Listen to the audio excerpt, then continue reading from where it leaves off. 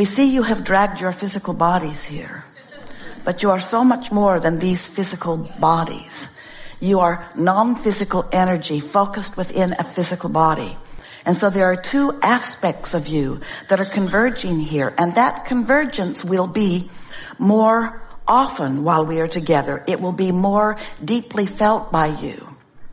And so sometimes what will happen is we will be considering something together and an idea will occur to you, something that you are wondering about or something that you are already knowing about. And you will again and again feel your point of view become woven into the conversation. Never before have you felt so much a part of a larger whole. And that is the thing that we are most exhilarated about this collective consciousness. You're going to find yourself, maybe for the first time, maybe not. Some of you have been there consciously before, but you're going to find yourself part of a greater consciousness and understanding things that you have not understood so clearly before. Now it's going to be normal over the days that are before us that sometimes some insight and clarity will come and you will feel as if everything that you've ever wanted to know is answered. But that's never going to be the case. And the thing that we want to let you know is five minutes later, you may not recall what you knew so much just a moment before. And that's all right because we're just going to loop around again and again and again and again so that the spiraling upward is going to become more and more and more because this is not really about you having a question and us giving you an answer. This is really about you discovering what it feels like for you to be in a more consistent way. Experiencing the awesome power of non-resistant thought. Now, if you're a normal human, and you are, mostly, you don't spend much time in non-resistant thought because you're here in an environment of contrast. There's so much for you to observe. These are really fast moving times.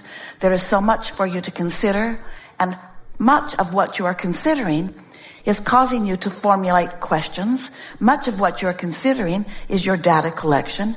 Much of what you're considering are things or experiences that you really don't want in your life experience. But all of that of value.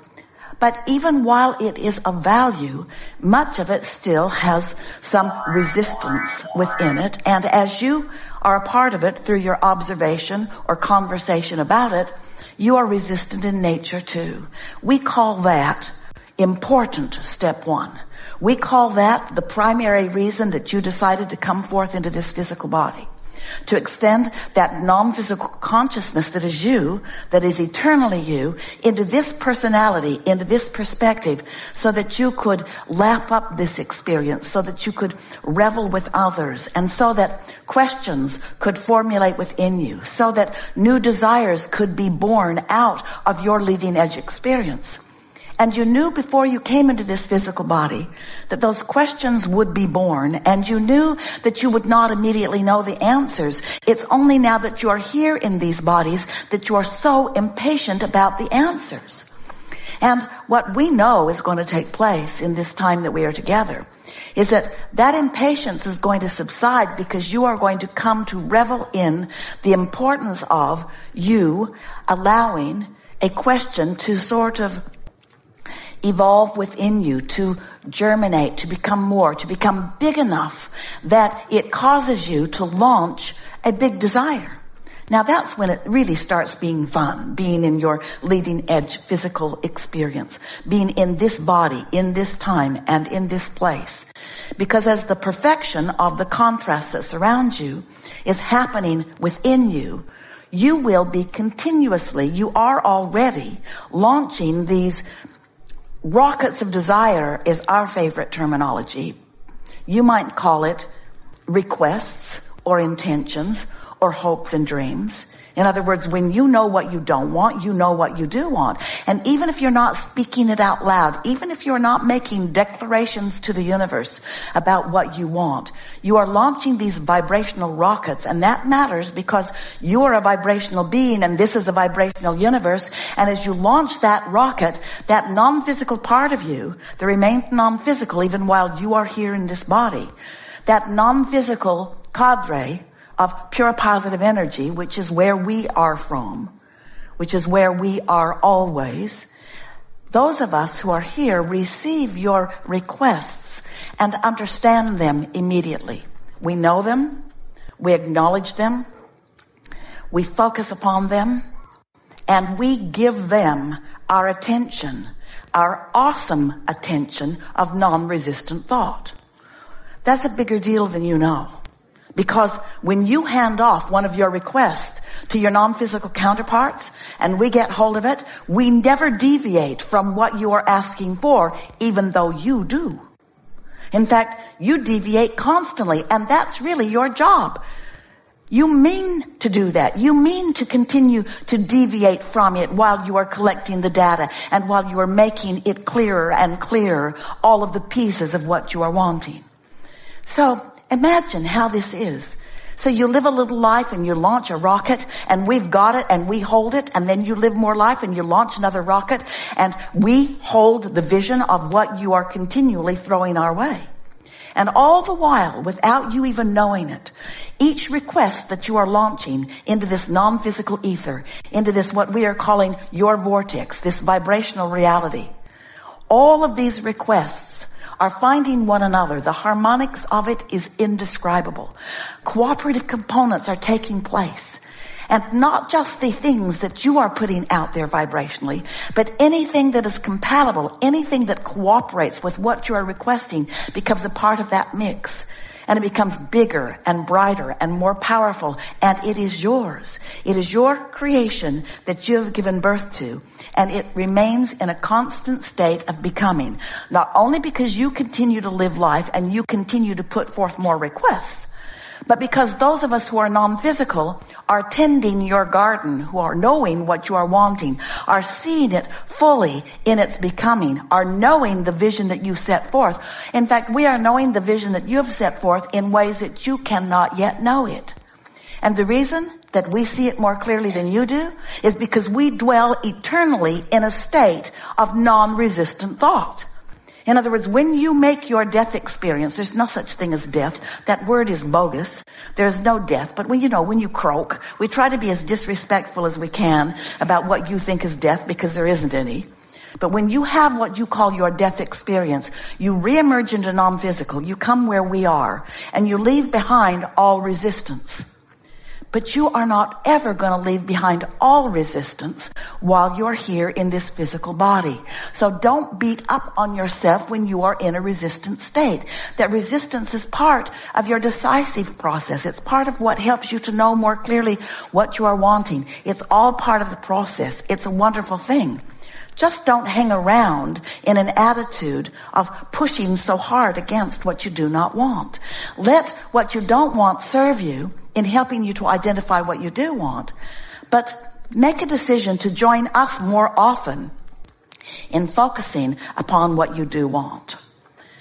So during the days that are before us, as we are together in this forum, we'll talk about anything that matters to you. And you are going to notice that what matters to you will continue to evolve. We're going to be a little bit persuasive with you because what matters to us about what matters to you is that we would like you to catch some obvious to you glimpses of what it feels like to be in a moment in time, just a little one, where you know for sure, where you know for sure that you are experiencing non-resistant thought. You can't tell right now, but by the end of this voyage, you will know the power of non-resistant thought. You will understand why some things are so easy to some people and some things are so hard to some people. You're going to feel yourself finding a new orientation for this physical life experience. It is our knowing that you are going to be less willing to struggle and sacrifice and be in an attitude of service. You're going to come to know your true power, your true place, why you are really here, the upliftment that you have possible for you. And then of course, you know, you teach through the clarity of your own example.